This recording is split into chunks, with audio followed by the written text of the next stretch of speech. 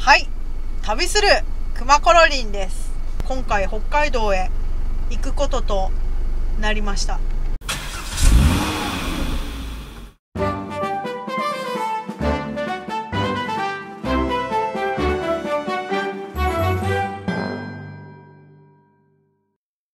ご視聴本当にありがとうございます。旅するくまコロリンです。今回私たちは秋の北海道を目指し再び旅が始まりましたセコマ発見だよあ、俺ゴールセコマ来た。来た？なんでメロンソフト一人で買ったの？ダメだよ一人でそういうのを買ったらお前。何さ赤いマスク取ってこれは何なの？紐ないって。紐あんたこれ？耳にそれかけんでないのかいねどういうことなのそれ？何なの？えー、何面白い？ちょっとそそれ直接耳に行くんじゃないの？かいちょっとやってや 何さちょっと直接それかけるんだべよわかるわけない。まもなく福島でいわき市オランダモルト。このチャンネルはマイクロバスの車内を自分たちで DIY してキャンピングカーにした中年夫婦日本一周を目指し車中泊の旅をするという様子をお届けするチャンネルです。今日は第1日目の車中泊だよ。はい。ご飯で。す午後食べれる？食わねえよ午後も。入れる前に午後もう食べれないのかい？二つ二つ食べて三個は明日の朝だな。これが旦那だったら間違いなくめちゃくちゃ怒られるパターンです。何言ってんだよ。セコマで買ってきた。やばい。激辛マニアだよ。禁断のわさび味。やばいねこれ。どうなのさ美味しいから食べてみなって。ちょっとやばくない？何？これマニアだけに送る禁断の辛さとうまさ。やばいね。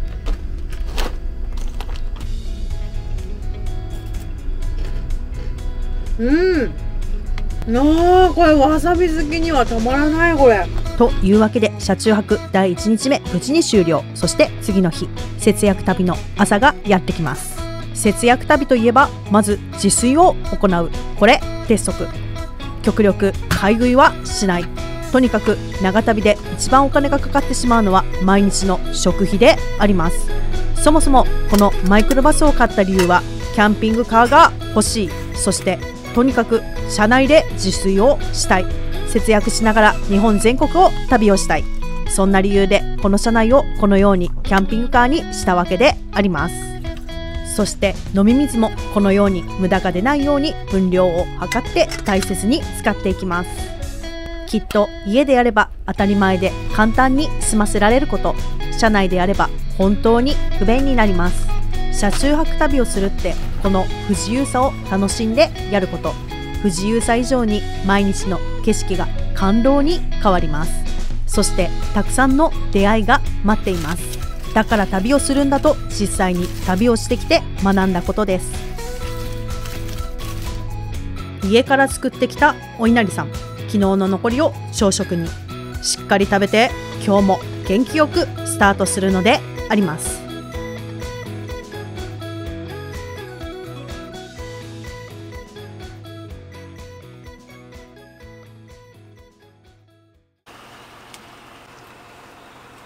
あれから10年。東日本大震災と福島第一原発事故で被災した福島県沿岸部を走る国道6号線。福島原発の周りの避難指示地域は徐々に解除されるなど復興は進んでいますがまだ帰還困難地域に指定されたままになっている地域が残っています。あ安っ。122円だ。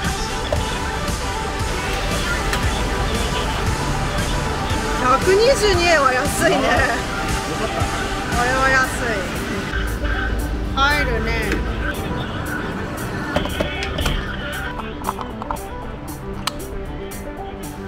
八千七百二十八円だ。安くてよかったね。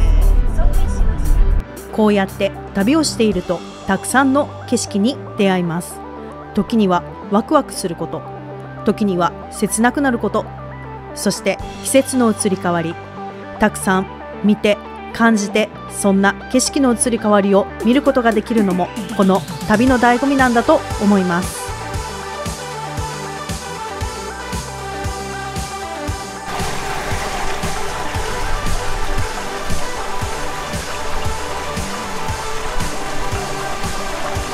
ここは3回目だよ。道の駅。高田松原奇跡の一本松があるところね。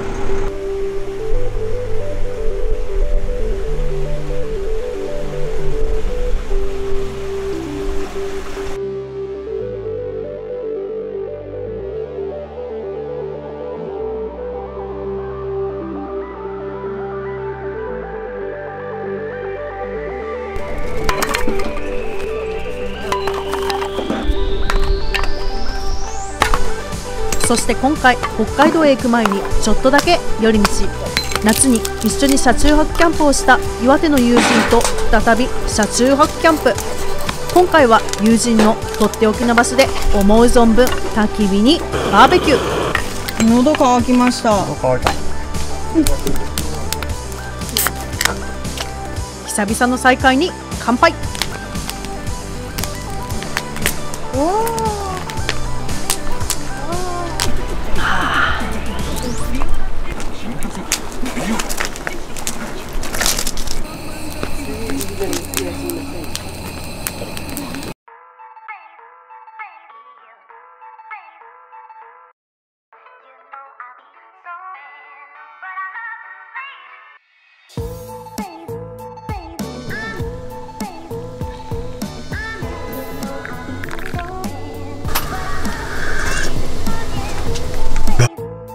超いい天気。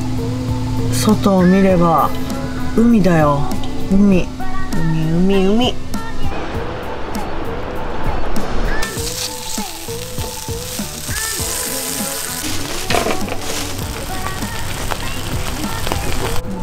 楽しい時間というのはあっという間に過ぎていきます。岩手の友人に別れを告げ再び北海道に向かって走り出すのであります。海見えてきたね。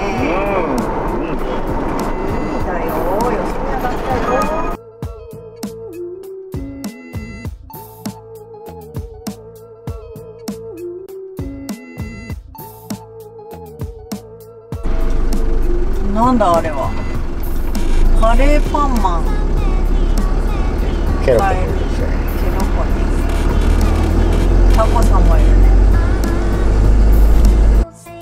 さあ青森県に入り旅に出て2回目の給油。今回は燃費計算もしようと思います。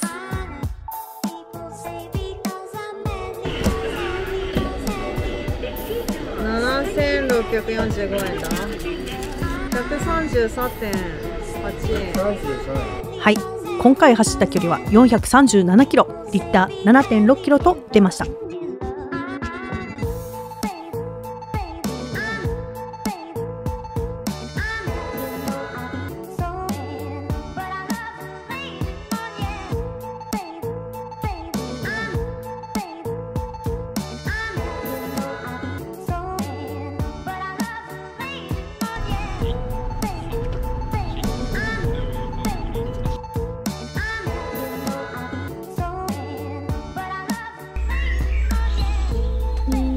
いやちょってみた全然足りないよ。ああいいよじゃあこっちあいいよ。いいよ。あげるあげるスーパーあげるよ。いいよあげるよ。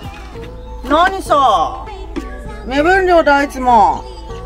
目分量。なんで人のはこんな熱々にしたのさじゃ入れる？あいらないよもう。薄丸部屋ああああちょっとやめてくれる。あ薄っ。ほら薄いんだよ言ったでしょ結局追加だ。飲んでみるやだね。薄いんだ。薄いんだじゃないんだ。さあこうやって小競り合いしながらも旅が進んでいくものなのであります。ということで今回の旅は大間からフェリーに乗るため一旦大間崎テントサイトを目指します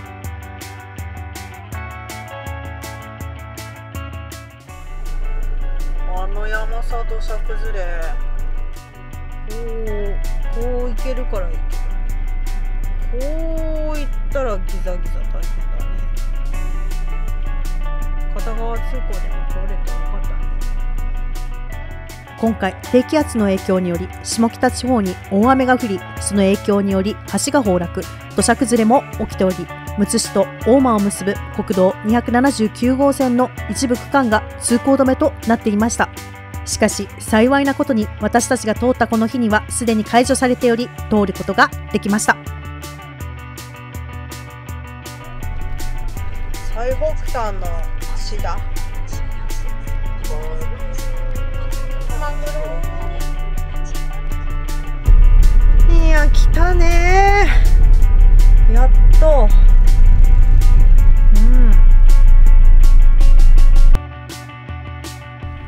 豚大根だってブリじゃない豚大根なんだ。ブリ大根だと思ってた。豚大根だった。大きさ違うね。あ本当だ今日のおつまみ。パーンってなんないかな。やめてよ。手で折ってけ。ほらなじゃないね。ほらなじゃない。ほらな。危ねえんだ飛ぶから気をつけてね。ちょっと温まればいいんじゃないのかい？ぐずぐず言ってるから。もう危ないよ。もういいってえまだ3時じゃない？3時半だよ。まだ3時半なの？でも飲んじゃってんの？そうだよなの何時に寝ようと思ってる ?7 時。7時に寝る？またあれだよ9時とか10 7時。時消灯9時起床だよ。9時10時起床だよ。いや早いんだっていつも始めるの。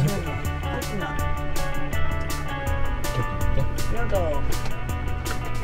あれ？チャンネルない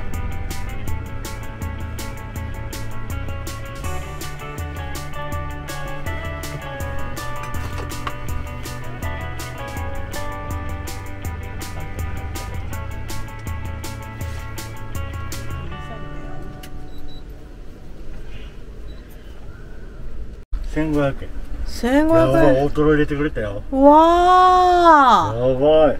うわ大トロ。やばいこれは。あらあらあらあら。これはやばいわ。これやばいよね。うわ贅沢。見てこれ。